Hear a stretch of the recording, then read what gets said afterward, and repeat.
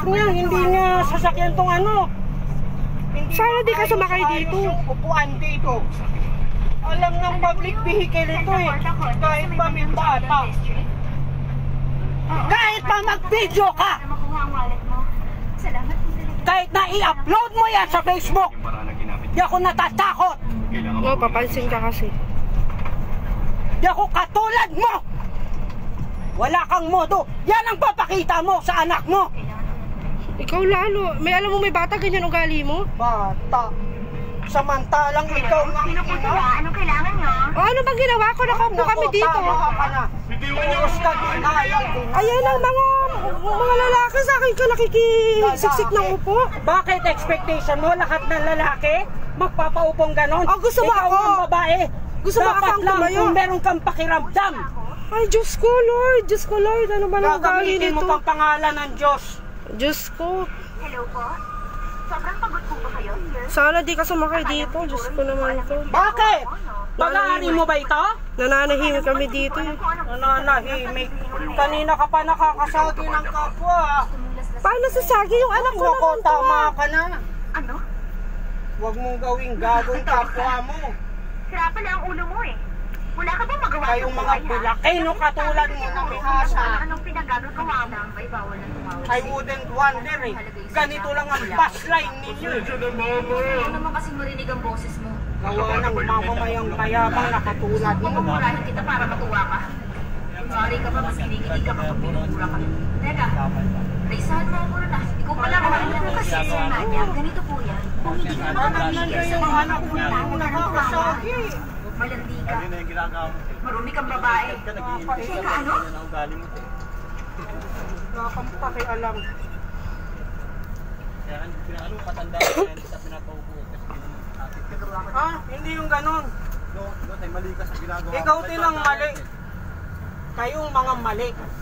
Hello? Ah, wala akong pakialam bakit.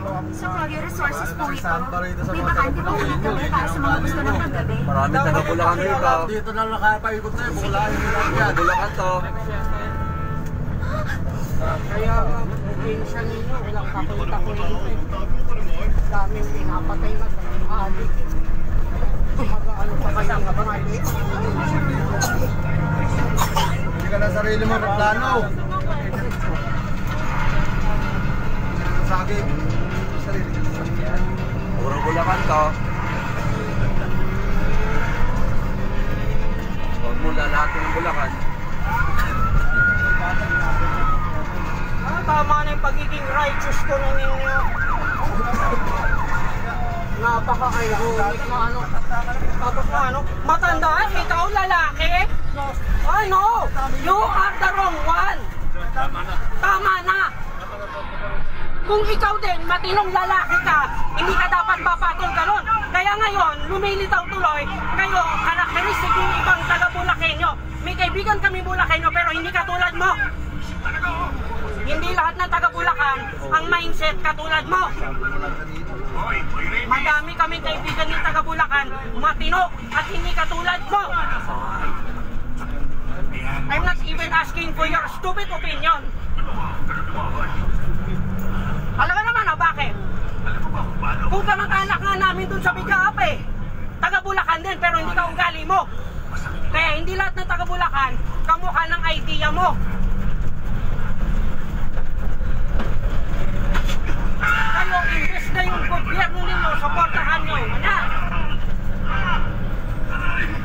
Masyado kang mayabang, patriotic, kunot, nationalistic. Daig mo pa yung ibang tahimik na bulakin yung tumutulong ng tahimik ng probinsya nyo. Lakas ng tono.